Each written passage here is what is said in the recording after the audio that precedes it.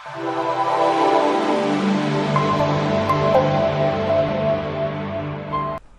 Video में हम model training पे बात करेंगे जो हमारा बेसिक स्टेप है जिसके जिसके बाद हम मॉडल को इवेलुएट करते हैं।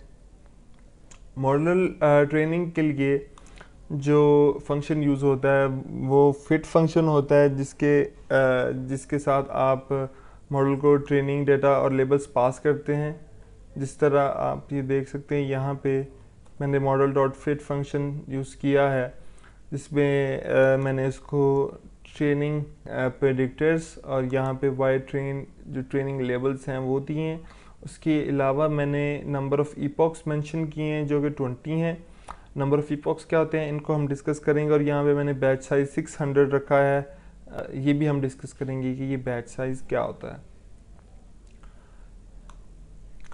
फिट फ़ंक्शन जो है वो बैक प्रोपगेशन यूज़ करता है और इसके पास जो मिनिमम इसके जो गोल होता है एंड गोल होता है, वो इसको हमने जो कंपाइल कंपाइलेशन के वक्त लॉस फ़ंक्शन दिया होता है, वो उसको मिनिमाइज़ करना होता है। तो इसको जो वो मीन स्क्वायर एरर का जो फ़ंक्शन हमने एज ए इनपुट दिया था कंपाइल में आ, उसको ये मिनिमाइज़ करेगा। अब अब बैक प्रोपोगेशन कैसे काम करती है इसका एल्गोरिथम मैं बता देता हूँ आपको। बैक प्रोपोगेशन में ये होता है कि सबसे पहले आप अपने वेट्स को इनिशलाइज करते हैं। और वेट्स को इनिशलाइज करने के भी दो तीन मेथड्स हैं जिसमें से सबसे कॉमन मेथड जो है वो रैंडम इनिशलाइजेशन है और ज़ीरो इनिशलाइजेशन है। रैंडम इनिशलाइजेशन में ये होता है कि आप अपने सब जो मॉडल के वेट्स हैं, वो रैंडमली इनिशलाइज करते हैं। और जो ज़ीरो इनिशलाइजेशन में ये होता है कि आप जो है, वो सारे वेट्स ज़ीरो से इनिशलाइज करते हैं।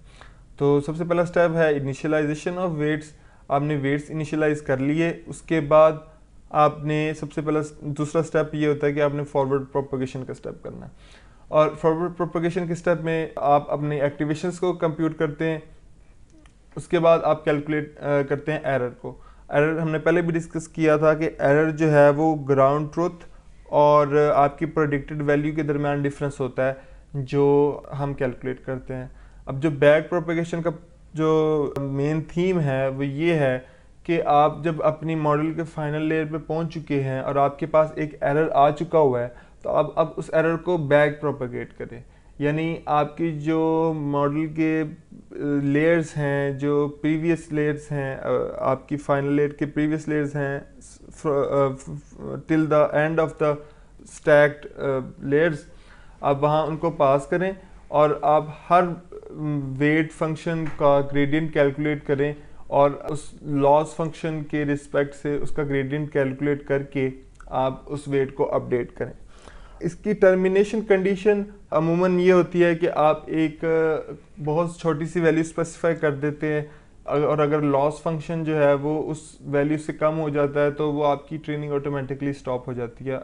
फॉर एग्जांपल अगर आप मेंशन करते हैं कि जो आपकी टर्मिनेशन कंडीशन है फॉर एग्जांपल वो 0.001 है, अगर इतना लॉस होगा तो वो आपकी जो ट्रेनिंग है वो स्टॉप हो जाएगी। अब देखते हैं कि ये फिट फ़ंक्शन चलता कैसे है।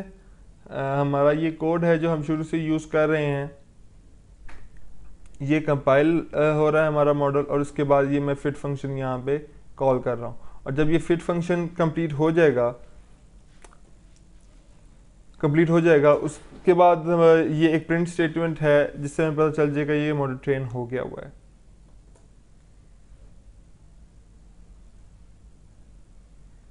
ये आप देख रहे हैं ये मॉडल ट्रेन हो रहा है ये ईपॉक्स चल रही हैं। और यहाँ पे हमें लॉस और एक्यूरेसी जो है वो नज़र आ रही है। और ये एक्यूरेसी बड़ी फ्लैट सी है आ, हर ईपॉक के बाद यह है सेवेंटी वन परसेंट तकरीबन और जो लॉस फ़ंक्शन है वो ज़ीरो पॉइंट टू एट है। तो ये एक बड़ी रीज़नेबल सी परफॉर्मेंस है जो हम एक मॉडल से एक्सपेक्ट कर सकते हैं।